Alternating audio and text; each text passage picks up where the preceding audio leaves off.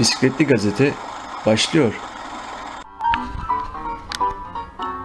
Ankara anlaşmalıların vize uzatma başvurularının sonucunu aylarca, bazen yıllarca beklemeleri ve home office memurlarının keyfi kararları uzun zamandır kamuoyunun gündemini meşgul ediyordu. İşte Neslihan Yiğit de home office mağdurlarından biri. Ciddi sağlık sorunları yaşamasına ve aile bireylerini kaybetmesine rağmen hızlandırma taleplerine cevap alamayan ve bu süreçte mağduriyetleri katlanarak artan Neslihan Yiğit'le başından geçenleri konuştuk. Bisikletli Gazete başlıyor. Ankara Anlaşması'na ne zaman başvurmuştunuz? Ankara Anlaşması'na ben Türkiye'den başvurdum direkt. Hı hı. Ee, burada buradan gelip başlamadım yani. Türkiye'den başvurup direkt e, 9 Ocak'ta geldim buraya. 2020 geliş tarihi. Tam da pandemi dönemine denk gelmişsiniz. Aynen öyle. Geldim patladı zaten. Ee, eşinizle mi geldiniz, yalnız mı geldiniz? Yalnız, yalnız geldim. Yani bu arada eşiniz var mı bilmiyorum. Yani şey pro- profil, profil resmi. hayır hayır. Yalnız geldim. Profil resmindeki abim. Ha abiniz tamam pardon Evet. affedersiniz. E, yalnız geldiniz başvurduğunuz konu neydi? Ee, art üzerine başvurdum ben. Sanat üzerine geldim. Hem resim öğretmenliği, hem fotoğrafçılık, hem Hı hı. e, mural art yani duvar resmi, grafiti. Sanatı içeren bütün her şey var iş planımda. Hı hı. Ne kadar sürdü onay kısmı? Yani onay kısmı e, ne kadar bekledim Türkiye'de hatırlamıyorum. Üzerinden zaman geçti açıkçası ama çok sürmedi. Sanırım bir iki ayda gelmişti. O zamanlar zaten çabuk geliyordu değil mi? Evet evet öyle hatırlıyorum. Açıkçası net tarihi hatırlamıyorum. Yanlış bir şey söylemek istemem ama Hı hı. çok beklemedim. Hemen geldi. Evet sizin e, home office'le davalık olan bir meseleniz var. E, şimdi ben bu meseleyi biraz kronolojik olarak filmi başa almak istiyorum. İlk e, ilk e, nerede başladı, nasıl devam etti? İsterseniz adım adım sizden dinleyelim. Tamamdır. Şöyle ben zaten dediğim gibi Türkiye'den başvurdum. Buraya geldim. Herhangi bir problem yoktu. Ee, geldiğimde de aslında pandemi süreci çok zordu biliyorsunuz ama Hı hı. e, benim işte e, Zoom'dan öğrencilerim vardı. Ve bir şekilde götürdüm her ne kadar pandemi beni zorlasa da bir problem çıkmadı. Ee, sonra e, senemi doldurmak üzereyken Aralık'ta tekrar uzatmaya başvurdum ben. Hı hı. Bu bir yıl içinde de e, yani aralı, aralığın sonuna doğru da 2-3 ay varken aralığa sağlık problemlerim çıktı. Bu sırada Türkiye'ye gittim ben. Hı hı. E, bir yılım dolmadan Eylül'de gittim evet. Hı hı. Eylül'de gittim ve geldim. Eylül'de Türkiye'ye gittiğimde çok fazla ağrılarım falan vardı. Bu arada hemen onu da başa sarayım. Hı hı. E, benim sol kalçamda kalça protezi var. Evet, geçmiş olsun. Ciddi pro- ciddi problemlerim var. Yani birçok kez ameliyat oldum. Altı, altı kez ameliyat oldum. Yedinciyi de İngiltere'de oldum. Hı hı. Bu sırada orada e, doktora göründüm ve doktor acilen ameliyat olmam gerektiğini söyledi. Tam uzatma esnası dedim ben şu an ameliyat olamam. Eğer burada ameliyat olursam uzatmaya başvuracağım. E, tehlikeye atmış olacaktım. Yani hemen buraya dönüp uzatmaya başvurdum. Ben de şey düşünüyorum Tuncay. Yani uzatmaya başvuracağım. Bir 3-4 ay sabredeceğim. Döneceğim gideceğim gelecek hani olay. Evet. Maalesef öyle olmadı. Ben uzatmaya Aralık'ta başvurdum senem dolmaya yakın. Hı hı. e, bir ay varken Evet. e, bekleme sürecine girmiş bulundum. Bekle Allah bekle bekle Allah bekle. Gelir mi gelmez tabii ki. BRP kartınız gelmeden de yurt dışına çıkamıyorsunuz haliyle. Hayır. O süreçte bekledim ben. Çok Hı hı. bekledim yani. E, s- bu e, süreç uzadı. Tabii ben birçok kez e, hızlandırma se- e, şeyinde bulundum, isteğinde bulundum. Home Office'e defalarca mail attım. Çünkü bildiğiniz çok ciddi raporlar gönderdim ben Home Office'e. Hani benim sağlık problemim var çünkü burada hiçbir şekilde ilgilenmiyorlar. Doktora gidiyorum. Doktor bana diyor ki çok durumun ciddi acilen ameliyat olman gerekiyor. Bana bir yıl sonra ameliyat tarihi veriyor. Hem bunları söylüyor hem de bir yıl sonra ameliyat tarihi veriyor. Ben ne yapacağım diyorum.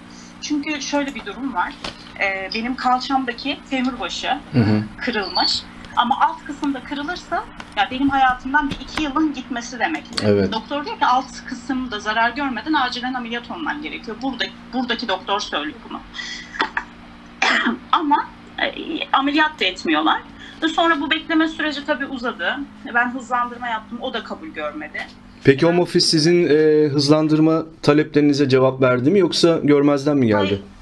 Otomatik cevaplar geldi. Sadece bir kez cevap. Bu, bu sürede tabii benim hızlandırma sayılarım 3-4 falan yani 1 falan 2 değil. Hı hı. 4'e falan ulaştı. Ve hızlandırma talebinde bulunurken herhangi boş bir mail atmıyorum. Raporlarla birlikte hızlandırma talebinde bulunuyorum. Yani bildiğiniz Türkiye'deki profesörlerden e, acilen ameliyat olması lazım diye rapor alıyorum. Hı hı. ve home office'e iletiyorum ama herhangi bir yanıt gelmiyor. Ee, sonra ben tabii e, bu süreçte e, bekleme sürecinde 8 Şubat'ta abimi kaybettim. Aa, başınız sağ olsun. Onun öncesinde anneannemi kaybettim. İki kez Covid geçirdim bu bekleme süresinde. Ee, anneannemi kaybettim. Anneannemi kaybettikten bir ay sonra abimi kaybettim. 8 Şubat 2022. Evet. Ee, yani çok e, sıkıntılı bir süreçti benim için. Abimi kaybeder kaybetmez tekrar mail attık. Benim hızlandırmamı kabul ettiklerini söylediler. Çünkü hızlandırma mailinde e, tekrar mail attım. Hızlandırma mailinde hem benim çok ciddi sağlık problemli, problemlerimin olduğunu hem de anneannemi ve abimi kaybettiğimi, e, çok kötü bir durumda olduğumu belirttim Hı hı. bana hızlandırmayı kabul ettiklerini söylediler. Ama dosyamı tabii hemen e, incelemeye almadılar. Beni mülakata çağırdılar. Allah Ben- Allah. Hı hı. Mart'ta mülakata gittim. E, aynen Mart ayında mülakata, 12 Mart'ta mülakata gittim. Ya o o psikolojide bir insanda mülakatta ne beklersiniz? Hiçbir Yani, şey. Tabii hı hı. ki yine ben mülakatımın çok iyi geçtiğini düşündüm çıktığımda. Toplamda 40 40 üzeri bir soru soruldu mülakatta bana. Size de absürt sorular sordular mı Neslihan Hanım? Yani absürt sorular e, çok yoktu açıkçası. Şimdi doğruyu söylemek gerekirse çok abs- absürt sorular yoktu. Ama üst üste gelen sorular tabii ki karşıdakine hata yapma e, oranı sağlıyor yani. Çünkü mülakattasınız, e, strese giriyorsunuz. Ben kendi adıma konuşursam e, ya hiçbir şey yaşamayan bir insan için bile bence mülakat stresli. Çünkü ben tercüman kullandım. Hı hı. Ee, iyi doğru aktarım olduğunu zaten kesinlikle düşünmüyorum. E, Tercümanımı da beğenmedim. Hı hı. Ama e, yani dediğim gibi benim psikolojim zaten iyi değil. Mülakatta da defalarca belirttim. İyi bir psikolojide değilim. Daha abimi yeni kaybettim. Daha bir, e, bir ay oldu. Bir ay önce abimi kaybettiğimi söyledim. Anneannemi kaybettiğimi söyledim. Ve gidemedim. Ve benim abim 36 yaşındaydı. Tuncay Bey Hmm. e, oğlu 6 yaşındaydı. Abim vefat ettiğinde. Evet. Ee, yani üzerinden tabii ki zaman geçti. Yani çok çok kötü e, bir süreç anlatmak. e, veya Başınız sağ olsun. O sırada eliniz kolunuz bağlı oluyor tabii. Hiçbir şey yapamıyor. Çaresizlik büyük Aynen bir sorun. Öyle. Aynen öyle. Gidemiyorsunuz, hiçbir şey yapamıyorsunuz, çıkamıyorsunuz. E, çok düşündüm. Hani çıkıp gitmeyi çok düşündüm. Ama e, burada verdiğiniz bir emek var Hı hı. ve e, e, home office'le bir dava içindesiniz. Yani artık e, belki böyle pes etmek istiyorsunuz ama home office'e teslim olmak istemiyorsunuz. Oradaki psikolojim tamamen oydu benim. Hı hı. Yani Bir, bir nevi bir gurur meselesine de dönüyor değil mi? Efendim? Bir gurur meselesine dönüyor bir taraftan. Evet aynen öyle. Oradaki meselem ona döndü biraz. Hani onların kazanmasını istemedim çünkü onların e, istediği bu. Yıldırmak yani. Hı hı. E, karşıdakini tamamen yıldırma politikasıyla böyle gönderme üzerine çalışıyorlar. Ben artık öyle düşünüyorum. E, çünkü benim e, çok ciddi problemlerim var. E, ben abimi kaybetmemiş dahi olsam e, karşı tarafa çok ciddi sağlık problemlerim olduğunu söylüyorum ve bunu kendi ülkesinin kendi doktorları da kabul ediyor. Hı hı. Buna ve ben bu raporları da gönderiyorum. Diyorum ki sizin doktorlarınız bana e, benim durumumun ciddi olduğunu, ameliyat olmam gerektiğini söylüyor. Ama bana gün vermiyor diyorum. Hani bana bir yıl sonraya gün veriyor. Bırakın ben ülkeme gideyim ameliyat olayım diyorum. Ya bu e, siz mesela bu duyduklarınızdan daha mantıklı ne olabilir? Evet, evet. Ama buna da izin vermiyorlar. E, yani artık beni o kadar bir çıkmaza soktular ki. Sonra e, hızlandırmayı kabul ettiler ve mülakata gittim. Mülakata gittim, e, hızlandırmayı kabul ediyorlar. Mülakat alıyorlar. Benim mülakat sonucu gelmiyor. Bu Ya sefer bu sefer de yine bekliyorsunuz. Aynen öyle. Tabii bu süreçte benim sağlık problemlerim daha da ciddi bir duruma ulaştı. E, yani defalarca yine mail olayına girdim ben. Hı hı. Kaç kere mail attım. E, cevap yok. E, bana bu arada bir de şöyle bir haksızlığı oranın transkript gelmedi. Mülakat transkripi. Biliyorsunuz herkese transkript gelip gönderiliyor Tabii. ve düzeltme hakkı veriliyordu. Hı hı. E, ben iki kez mail attım home office'e ve interview maili attım. İşte mülakatı yapan birime de mail attım ve transkript istedim. Hı hı. Bana e, transkript gelmedi. Düzeltme hakkımı kullanmak istiyorum. Eğer herhangi bir rakamlarda bir hata yaptıysam işte veya başka bir şey söylediysem düzeltmek istiyorum. Yani bu benim hakkım. Tabii o heyecanla her şey olabilir. Aynen öyle. Ee, ama cevap vermediler hiçbir şekilde. Hmm, yani mülakatın dediğim gibi çok absürt bir soru görmedim ama tabii ki absürt sor, sorulan arkadaşlarım da olmuş. Sürekli, sürekli iletişim halindeyiz. Ee, ama e, zaten mülakatın kendisi bence absürt. Evet. Ee, kesinlikle kabul edilebilir bir durum değil yani. Hı hı. Hmm, Peki siz bu durumda, bu süreçte e, araya ne bileyim milletvekillerine mail atmak, onlarla görüşmek, Evet e, tabii ki tabii ki bulunduğum e, bulunduğum bölgenin milletvekiline mail attım. hı hı. Aslında dikkate alan milletvekilleri oluyormuş ama benim milletvekilim dikkate almadı. İsmini ismini e, hatırlamıyorum ama hangi, şey hangi bölgede yaşıyorsunuz Londra'da? Çigvel. O zaman Çigvel'de yaşıyordum ben. Çigvel'in milletvekiline e, mail attım. Hatta iki kez gönderdim. Acaba e, bir aksilik mi oldu, görmedi mi, belki bir şey olmuştur falan diye tekrar mail attım. İkisine de maalesef dönülmedi. O, o e, buton da işe yaramadı yani. evet. E, tabii bu süreç böyle uzadı uzadı. Ben tabii bu süreçte çok e, psikolojik olarak çok çöküşe girdim. E, işte etkilendi. İster istemez. Ee, Aynen öyle. Çünkü çok yani Tuncay Bey ancak yaşayan bilir bu durumu. Hı hı. Dediğim gibi ben abimi çok geç genç kaybettim. Hem annem hem babam çok çok kötü bir duruma girdiler. Ee, annem hem annesini hem oğlunu kaybetmenin acısıyla çok büyük bir sıkıntıya girdi. Yanlarında olamıyorsunuz. Evet, siz de Yani- bu süreçte onların yanında olamadınız. Ve bunun Evet, bunun da e, ağırlığı var üzerinizde ister istemez. Evet, aynen öyle. Sonrasında benim durumum çok ağırlaşınca Tuncay Bey beni ameliyat etmek zorunda kaldılar. Hı hı. Nasıl ameliyat ettiler beni? Özel hastanede. Çünkü devlet hastaneleri tamamen dolu ve beni ameliyat edemeyeceklerini söylüyorlar. O sırada NHS'te zaten sıra bulmak mümkün değil değil mi? Aynen öyle. NHS'de beni özel hastaneye aktardı ve karşı, NHS tamamen karşılayacağını söyledi. Hı hı. Çünkü e, doktor bana açık açık dedi ki eğer ameliyat olmazsam e, alt, pro- alt protezin de kırılacak. Alt protezin kırılması da e, çok ağır bir ameliyata dönüşecek. Yani bu defa e, bu geçireceğin ameliyat senin hayatından bir buçuk iki yılı alacak dedi. Hı hı. Yani çalışamayacaksın dedi açık açık. O yüzden acilen ameliyat olup femur başlığını değiştirmemiz gerekiyor dedi. Tamam dedim. Beni ameliyat ettiler. Özel bir hastanede e, Enfield'da. Sonrasında tabii hala bekliyorum. Hiç bir şey yok. Ne kadar süre geçti bu arada? Sizin uzatma, mülakat, ameliyat ne kadar ay geçti? Tabii ki ben o 13 Ekim'de bana 13 Ekim 2021'de bana red geldi. Ee, ben itiraz ettim 25 Ekim 25 Ekim'de itiraz ettim. Ee, bu süreçte işte bu yaşa, anlattığım şeyleri yaşadım. Ee, itirazdan ben çok ol- çok olumluydum. Ya çünkü benim mülakatımda dört tane e, red maddesi var. Hı hı. Ve red maddelerim de şunlar. Ee, seyahat seyahat giderimi yanlış söylemişim. Hı hı. E, piyasa analizini yanlış aktarmışım. Daha doğrusu eksik aktarmışım. Bana piyasa analizini sordular.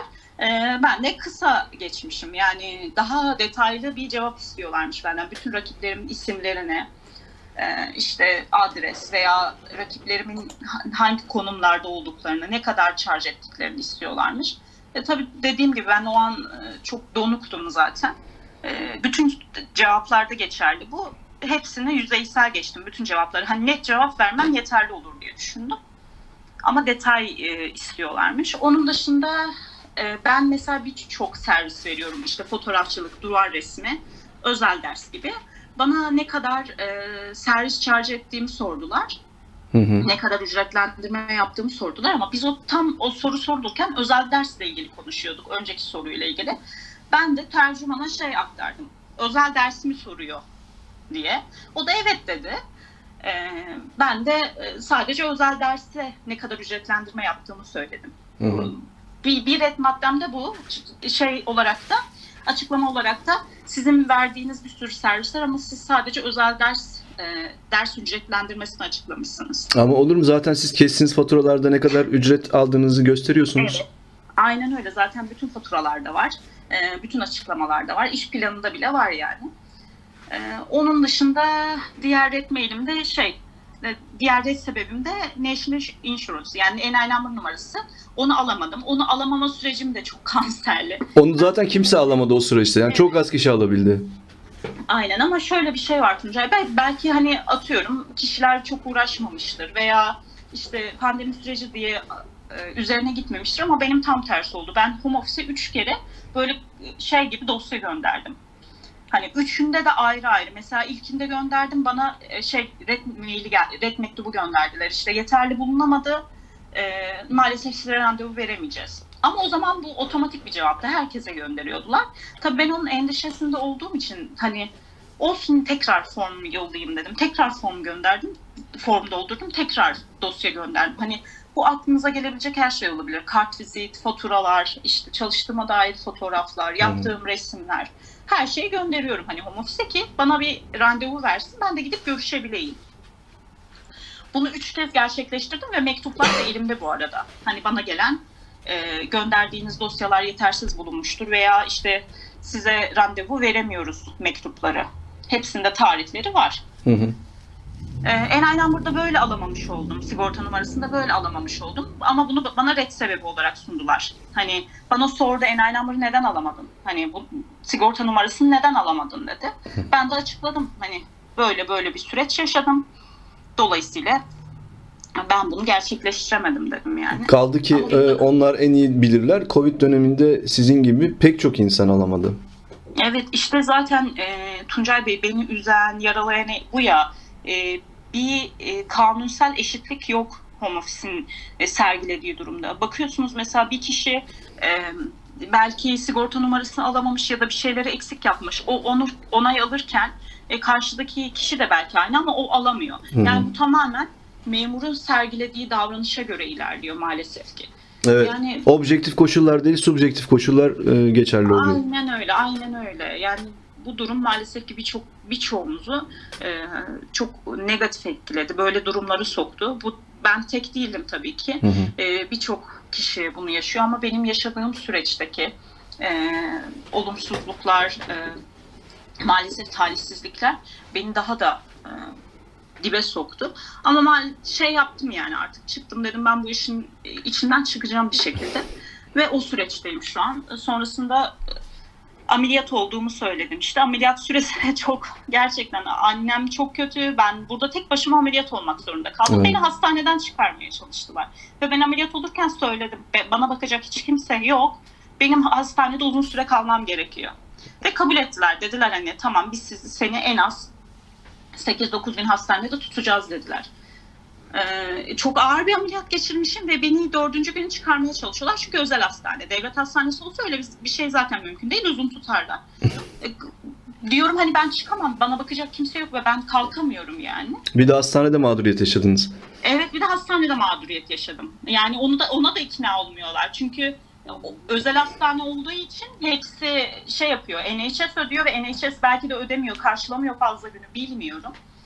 Bir şekilde orada da biraz ikna ettim ve e, daha uzun kaldım. Bir iki üç gün daha kaldım. E, sonrası tabii ki benim için çok zor bir süreç oldu hastaneden çıktıktan sonra.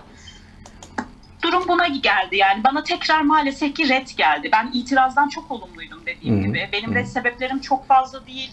Hani ya insanlık halidir ya mülakatta seyahat giderini yanlış söyleyebilirsin. Yani normal normal dün yediğimizi unutuyoruz ya. Tabii dün ki. yediğimizi unutuyoruz. Bundan daha doğal ne olabilir?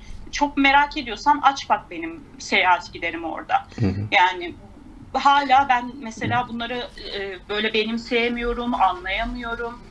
Bir de seyahat gideriniz zaten siz e, verdiğiniz uzatma başvurusunda söylüyorsunuz. Bunu mülakatta tekrar sormanın anlamı ne ki? Yani zaten vermişsiniz siz bunu. Evet zaten Orada anlamadığı bir şey olursa sorabilir bunu. Açıklamanızı ister. Ama seyahat gideriniz nedir diye mülakatta tekrar sorması çok anlamsız. Aynen öyle. Zaten mülakatta sorulan bütün sorular bence dosyada dosyada içeren şeyler var yani. Bana sorulan her şey piyasa analizi. Ben piyasa analiziyle ilgili sana iş planında zaten e, bir bölüm sunmuşum. Merak ediyorsan aç bak E, ya da işte ne kadar servis ücreti ödediğimle alakalı. E, aç bak yani ama işte karşıdakini e, biraz zora sokmakla ilgili. Dediğim gibi 40'ın üstünde soru soruldu bana. Ama işte bu 3-4 tanesine 5 tanesine takılıp benim önüme sundular. Ee, dediğim gibi mülakat hadi bana red geldi. Tabii bu mülakatın red gelmesi de uzun sürdü. Ne kadar sürdü hatırlamıyorum ama hemen bir sonuç gelmedi kesinlikle. Çok çok uzun süre bekledim mülakat sonucunu. Evet. Ee, yani dolayısıyla bir hızlandırma kesinlikle olmadı. Hızlandırmayı kabul ettiklerini söyleyip beni mülakata çağırdılar ve beni tamamen mağdur etmiş oldular. Sizi hızlandırma verip e, süreci yavaşlatmışlar aslına bakarsanız. Aynen öyle. Ya ben, ben size home office'e sunmuşum. Ben böyle zorluklar yaşıyorum diyorum ve beni şeye çağırıyor. O psikolojideki birini mülakata çağırıyor. Hı hı. Böyle bir saçmalık olabilir mi? Evet. Sonrası bekleme süresine girdi. Ben tekrar red aldım maalesef ki. Şu anda da PAP sürecine girdim. Tamer Bey ile tanıştık. Gerçekten e, Tamer Bey e, maalesef burada e, Ankara Antlaşmalar artık e, suya düşen suya düşen yılana sarılıyor. Hı. Ee, biraz o duruma düştük. Avukatlar da böyle tabii ki işini iyi yapan e, kişileri tenzih ediyorum, kenara ayırıyorum ama bizi onlar bir, bir de onlar tarafından mağduriyete uğruyoruz yani. Evet bunu fırs bunu fırsatçılığa çeviren aslında konuyla ilgisi bilgi- bilgisi olmayan ama bundan kazanç elde etmek isteyen ortada bir sürü simsar dolanıyor. Aynen öyle. Birçok